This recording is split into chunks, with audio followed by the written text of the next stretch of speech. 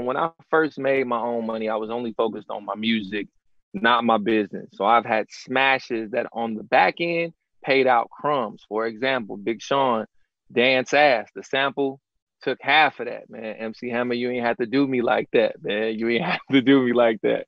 Rihanna's birthday cake went from an interlude on her album to a remix with Chris Brown that to this day is still not available on DSPs and has never been sold. So I remember one day asking the dream, how much money didn't we make off a record that went number one that we couldn't sell? And he was like, oh man, you know, nothing crazy, like three or four million.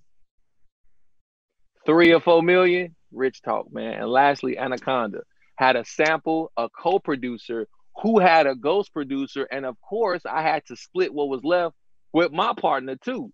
Um, so after going through all that, I wouldn't ever think about selling my publishing. But for people in the industry, one of the biggest stories right now is No ID selling his catalog.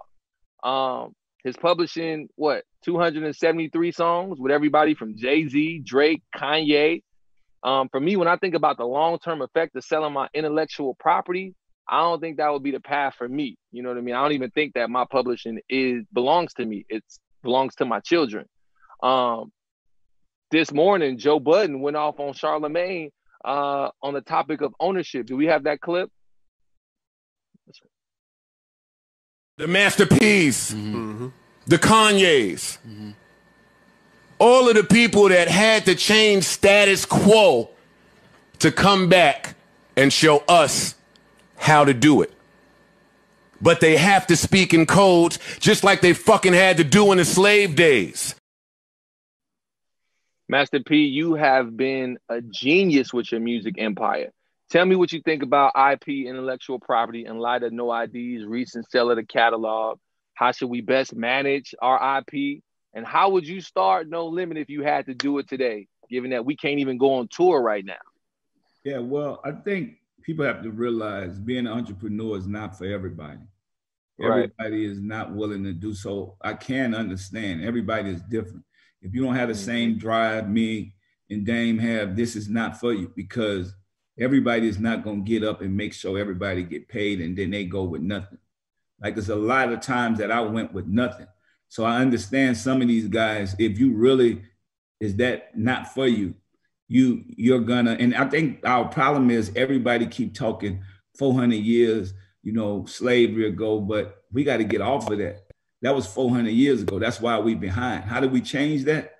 With success, because they already 400 years past us, and we keep going back to that. So my thing is ownership is important, but you got to realize, and Dame could tell you this too, that we have a lot of business that we have that the end goal is to sell it.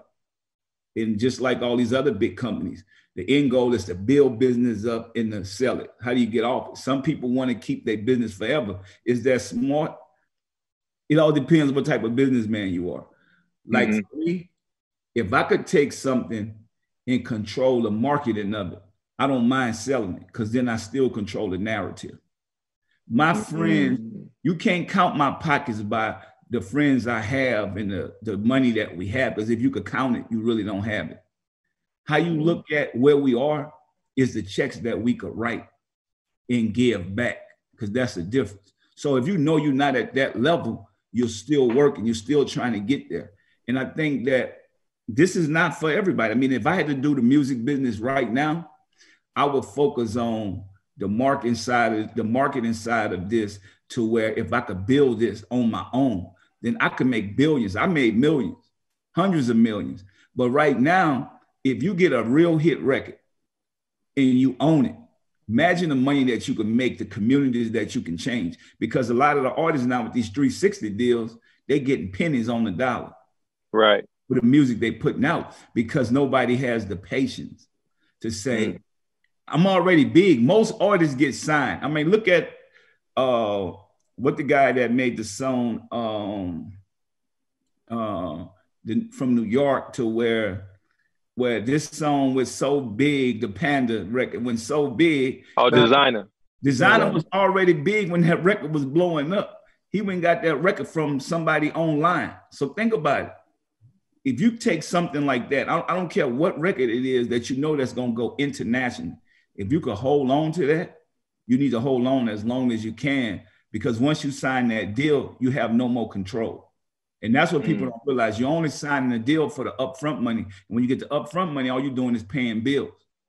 Mm. And mm. that's why so that's why you guys talked about earlier. They'll put you in the house, give you the car you want, and then when it go cold, nobody talk to you no more. Then you go back so, to the hood. So let me ask you this. Let me ask you this, right? I'm in the hood right now. Yeah. I got the hood going crazy. You yeah. know, uh, I, am a local superstar. Everybody knows that I'm next to blow. If I want to take my career to the next level, what terms specifically? What does it? What what should a deal even look like? What should I be asking for? I just had somebody um tell me, yo, coach, you know, joint venture time, bro. You got hits. You got people that I, I know some of the homies that Why don't not, even produce. Let me, let me tell you this. Why mm-hmm. not ask for nothing? Mm. Why not ask mm. for nothing? I did that in the 90s. When I signed a distribution deal, I asked for nothing. That was the only mm. way I was able to do it. And dang know if somebody see that you willing to invest some skin into your own self, invest in yourself, imagine you could get whatever deal you want. But we already come with the looking for the check in the bag. And that's mm. gonna lose it. I got three guys on here who well versed in music, and maybe Pop, you and I'll learn together. Because ID, you know, I'll be very honest, I don't really know who he is, whatever the case is. But if you're saying that he sold all his stuff to a publishing house, they probably caught him early. But yeah. right now, because what P is saying, yeah, I'll mess with people who got distribution. If ID would have said, yo, I don't want no check in advance, but I know because you're a publishing company, you're working the angles on selling my shit to Burger King and all these kind of commercials, whatever. I don't want zero, but I want I want a 70-30 split, 70 my side, 30 split. You go and shop and be my whore. Go out there and sell my shit. Yeah. Church. Hell, you ain't gotta worry about the money you gotta recoup because it's nothing to recoup. It's nothing to recoup. All of it's cream. Yes. Mm. Understand you need distribution outlets. You see what I'm saying? Like in in in product categories. Yeah.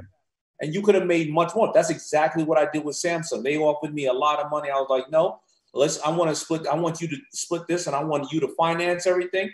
I'm going to do the marketing and the branding. You're going to manufacture it, and then I'm going to pay you for that aspect and I get the rest. And that's why I got one of the biggest deals that's ever been made in the fashion business because of that. Wow. So think know. about it, right? These companies don't need money. They don't need nothing. They they want you. They want the talent. And I tell right. people all the time, product outweighs talent. So like Dame said, once you get something big, then now you can invest that into product, other things that you want. But if you just go for the check, I'm the first guy to turn down a million dollars from Jimmy Iovine, which everybody else in the 90s wanted a deal. Mm. And I mm. only had $500 in my pocket at the time. I think Ooh.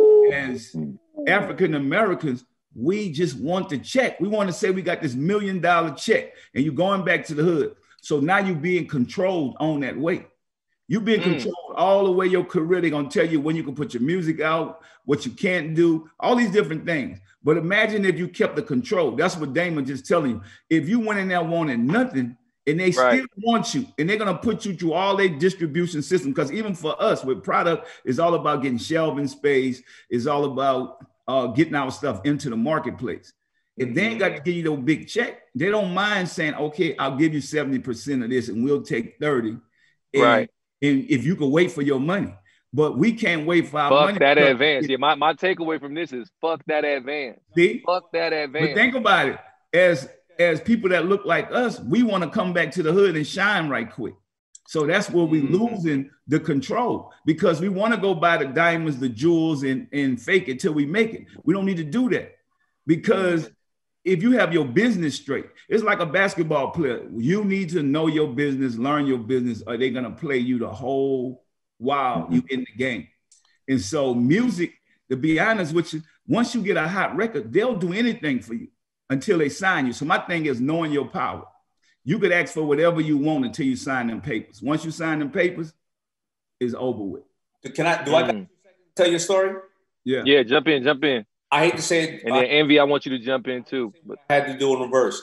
Right around 2002, FUBU was white hot. I asked one or two rappers, I said, listen, you know, because I was always sponsoring the videos. They need the extra $20,000 for the extra girls and cars, whatever cases. I was like, yo, I got $20,000 every video you're going to do just to give you extra. They were like, nah, I don't want that because they felt that it was going to go right to the girls and cars. That's what they wanted. The director wanted.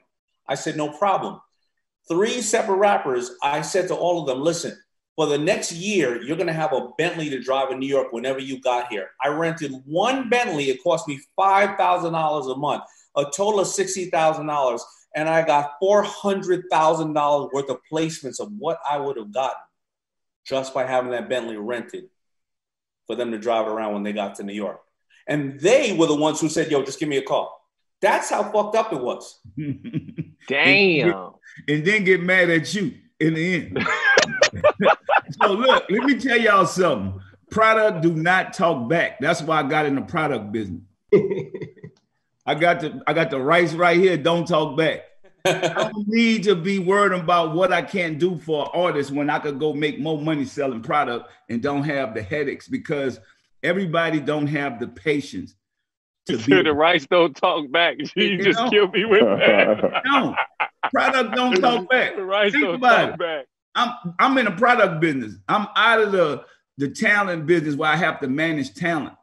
Right. To me, when you selling product, you don't have to deal with all the negative stuff that you normally would have to deal with because a lot of the artists are uneducated. Like Dame say, when you're trying to help them and show them something, they don't even want to hear that. They just want to know P, what I want. Bag on the side, Pook, you need the brown bag on the side. Them to sling, sling, sling cereal. You don't, you don't got that in your, in yeah. your bro. Yeah. Mm. Mm. All right. And we all we do is promote other people' product, and we don't have none of our own. Mm, powerful. Look, we got to run the break, man. Jim, Jim, the rice don't talk back. Fuck the advance. I'm eating right now. We'll be right I'm back drinking, with more. I'm drinking Jizz Hoop water. We ain't hey, drinking water. Hold on, turn, hold on, turn to the side so we can see that front. That Jizz There it is. This this the water that cares, that gives back. there it is. We'll be right back with more Kingz of Kosine.